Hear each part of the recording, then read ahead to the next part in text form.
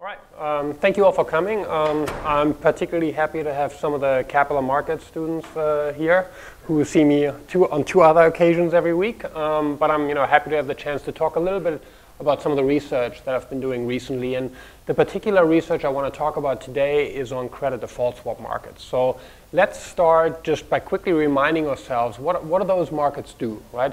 Credit default swap markets are markets where you can purchase essentially insurance on debt that you may own. So imagine you own a bond on a company, you're worried that the company is going to default.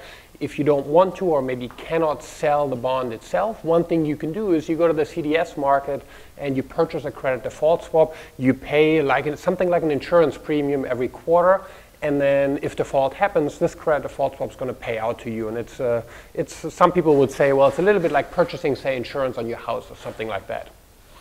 Um, you could also, even if you don't own the underlying bond, you could say, well, let me speculate in the credit default swap, and you can just take a bet, even though you're not exposed to, say, GE's debt or, you know, uh, sovereign debt from Greece. You can use a credit default swap to express a view uh, to speculate. Now, um, one thing that's true about credit default swap markets, if we look back, say, over the last 10 years or so, so credit default swap market started out kind of, you know, a, on a small scale in the late 90s, but then when you go to the early mid 2000s, suddenly those markets have really grown tremendously and they've become very, very large and important markets. Right? So from that perspective, you would think that, um, you know, if they're such important markets, we know kind of as researchers a lot about those markets. And that's not true. And the reason is that um, credit default swap markets are markets that are usually called over-the-counter markets. So dealers deal, you know, with customers, and all those trades uh, are over-the-counter. And historically, we've just had very little information about what goes on in credit default swap market. There was just very little data available to researchers to study what do people actually use those markets for. And so the idea um, behind this paper or behind this research that I'm going to talk about today is to use some newly available data uh, that's going to allow us to get a little bit more of a sense for what people do in the credit default swap market, and then also what I want to get to is what the role, if you want, if you want, uh, the, the economic role of the credit default swap market is right? So um, I'll show you in just a second what this data is, but I'm going to rely on some data that researchers up until, say, a, a few years ago did not, not have available. Um, uh, this research, uh, uh, which I'm doing with a professor at Boston University, Adam Zawadowski, is, I think, one of the first papers that tries to use this data. And we're going to start with some relatively simple questions that everybody who looks at the credit default swap market should be interested in, right? So what we're going to ask, for example, is if you look at a particular company, let's say you look at GE or you look at IBM, what determines how much of you know, that company's credit risk is transferred in the CDS market? What determines the amount of credit default swap that's written on a particular company, right? That's going to be one thing I'm going to be interested in. And then also, if we want to think about trading volume, you know, Patrick in a different context just talked about the fact that you know, there's a lot of trading in the stock market, also in the CDS market. There's a lot of trading, and we're going to try to figure out what determines the trading volume kind of on a monthly basis in, say, credit default swaps on a company or, or uh, anybody else, a sovereign. Right? And from, from answering those questions, and you know, let's note, right, these are very basic questions. That's kind of the first, the, those are probably the first questions you would bring to figuring out what the credit default swap market does. We then try to answer the, a broader question, which is what we're really interested in, asking, well, what is it that the credit default swap market delivers to investors that would not be possible in the absence of those markets? And I'm going to try to give you kind of at least a tentative answer at the end of my, at the end of my short presentation today. All right, so why are we able to look at something that other researchers haven't been able to look at? So there is an organization called the Depository Trust and Clearing Corporation. Um, and they essentially uh, run something that they call the Trade Information Warehouse for credit default swaps. And so in that trade information warehouse, they record essentially every trade and every position. And they've done this for a while, but um, this used to not be available. Um, then, you know, one of the fortunate side effects of, you know, going through the whole Lehman debacle is that, well, um, a lot more information became available afterwards, including information on credit default swaps. So starting in October 2008, the Depository Trust and Clearing Corporation, DTCC, has started to release much more disaggregated data about the credit default swap market than we used to have before. Now, what can you see in this data, right? So before, all we knew, you know, were essentially summary statistics, surveys of how big is this market overall. We didn't really know how much credit default swaps have been written on, say, IBM or GE. Now we can see that because what the DTCC is going to tell you every week is for the 1,000 largest reference entities, meaning the 1,000 largest either firms or sovereigns on which credit default swaps are traded, um, um, how much is outstanding in notional positions, and they give you two numbers, and I'll explain in just a second what this means. They'll give you one measure that's called the gross notional and one measure called the net notional. But um, roughly speaking, for now, just think of this as giving us a view as to how much, you know, the stock of contracts of CDS is written on, say, GE. Well, we can now look this up, and we can look at it at a weekly basis. The second thing we see is how much is traded every month. What is the trading volume, right? That's another thing I mentioned on the last slide. And so the nice thing about that is once we know trading volume for credit default swaps, we can compare that volume to trading volume in something that is in some sense similar, right? The underlying bonds, right? Because if you want to trade credit risk, you could trade a bond or a CDS. And so here we can compare and see, well, um, who trades in the bonds or why might you trade in the bond or why might you trade in the, in the CDS? All right, so let me give you one slide to explain how these positions are measured. I just mentioned these words, gross and net notional. Here is a simple example that highlights how you measure CDS positions. We'll see why you have to kind of make a choice as to how you measure them and why there are two measures. And I will then argue that the net notion, at least for us, is what we're more interested in. Let's look at the simple picture right here. This, think of these as three dealers, right? And let's say they have all entered credit default swap positions. So dealer A has sold 10 million in protection to dealer B, right? Now dealer B maybe has sold 10 million in protection to dealer C, and dealer C 10 million to dealer A, right? And um, to highlight the difference between the gross notional and net notional, let me run through a simple example and tell you how those would be calculated here.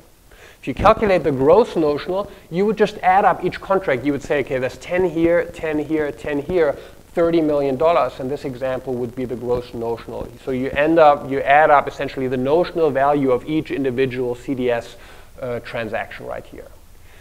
If you're interested in the net notional, then you would say, well, I still want to add contracts, but I want to take into account that here, dealer A, actually, once you net his obligations, he is not really exposed. He gets 10 million here, he has to pay 10 million here if default occurs.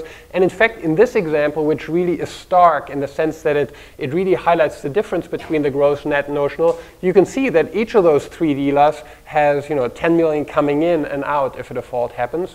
And so the net notional position here would actually be zero. Think about it this way. When the default happens here, no money actually has to change hands. They'll all realize, oh, 10 million in and out. On net, we don't have to make any payments.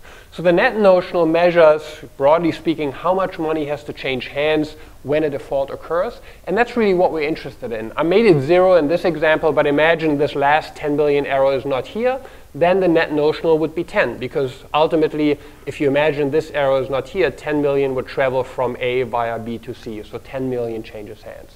And that really captures how much credit risk has been transferred because right, that captures how much in the default event, what's the payment that's actually going to have to be made. All right, once you measure the CDS market according to net notional, right, you can look and our data starts kind of after the peak in the size of the market. That's why it's trending down a little bit. But you can see this market, you know, is a is a big big market around or more than you're starting at 1.6 uh, tr trillion dollars right here, and then trending down slowly over the last few last few uh, years.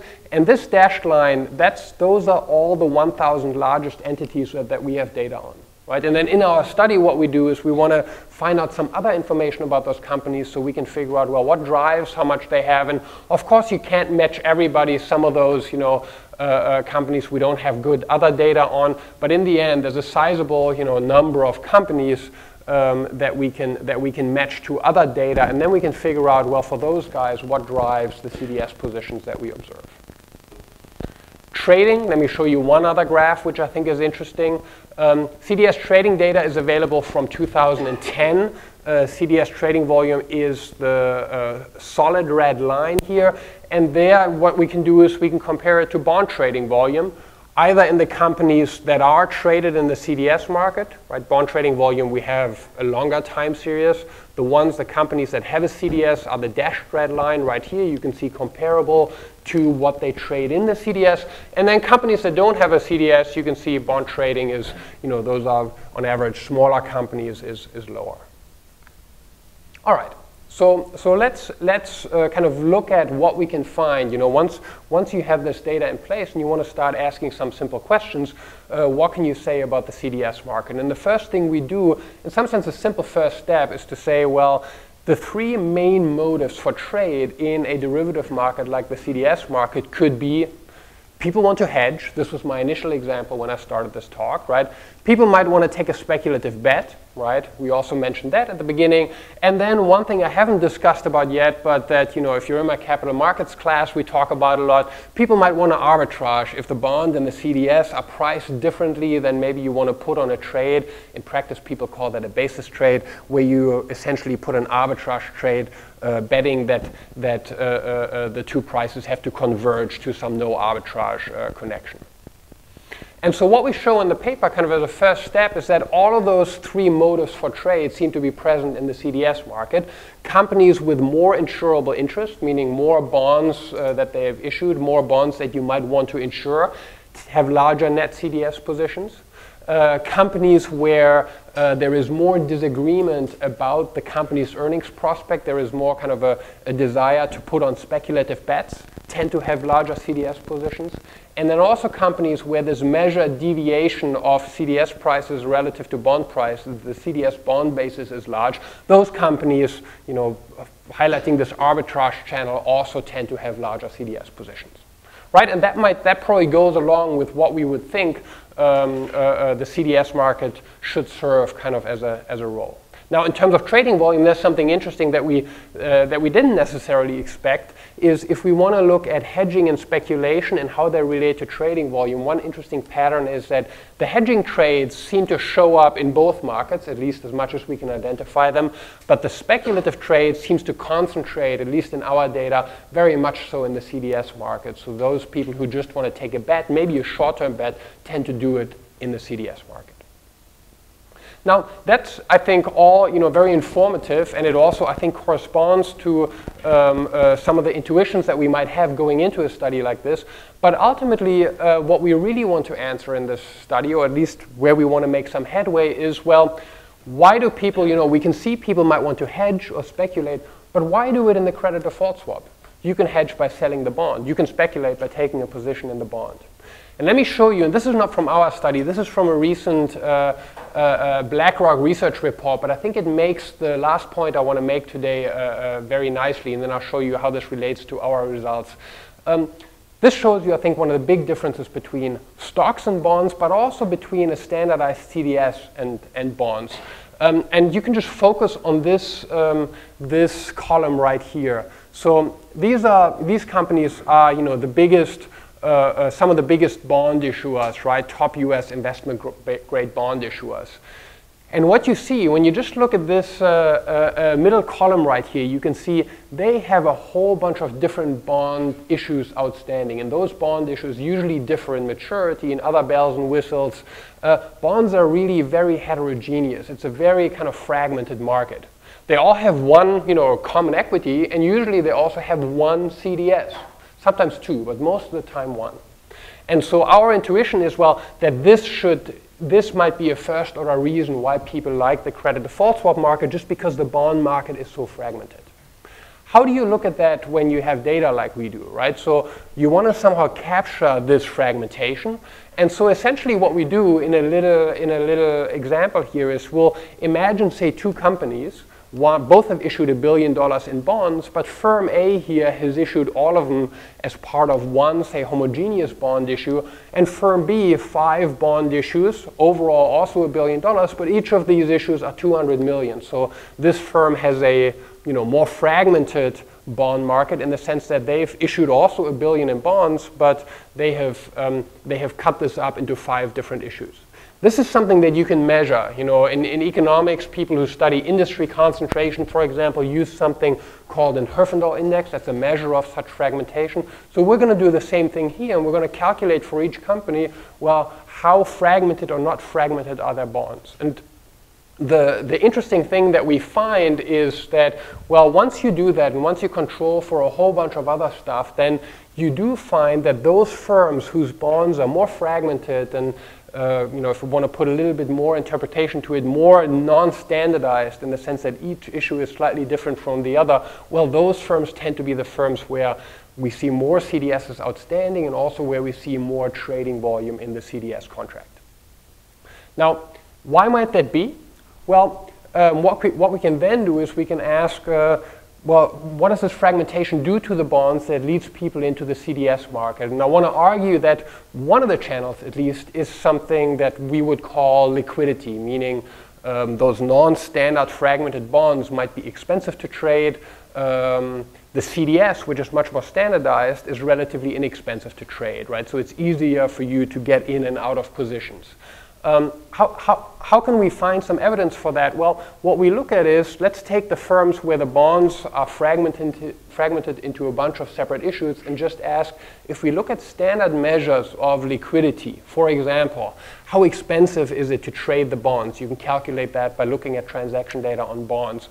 Or how much trading is there in the bond? Then what we find is that precisely those companies that have a lot of CDS and have, uh, have fragmented bonds, well, those firms, if you look at their bonds, those bonds are usually expensive to trade, so the trading costs are indeed high, and there's not a lot of turnover. And that, that uh, uh, um, uh, uh, in some ways, I think, is, uh, tells us that the channel through which the standardization of the CDS helps the bond market is that well, when the bond market is fragmented, then the standardized contract can step in, kind of as an, I call it, or we call it in the paper, an alternative trading venue that traders can use, particularly in those cases where the underlying security is, is not standardized. And that's different, right? If we think about equity options, like an option on a stock, well, usually, as we said earlier, there's one stock and then an option, so probably there what goes on is something different. But when we think about the CDS market, then the non-standardized nature nature of bonds and the standardized nature of CDSs is probably a first order thing we want to think about when we look at those markets. All right, so I'm going to conclude. Um, this study um, was possible because over the last few years we've had as researchers new data that allows us to study markets that we weren't really able to study as much before. Um, what we're interested in here is the credit default swap market. And, um, you know, we find evidence, first of all, for the trading motives that you may have in mind when you think about, well, what, what might investors want to do in the CDS market? They, well, they may hedge, they may take speculative bets, or they might want to do cross-market arbitrage trades between the bond and the CDS.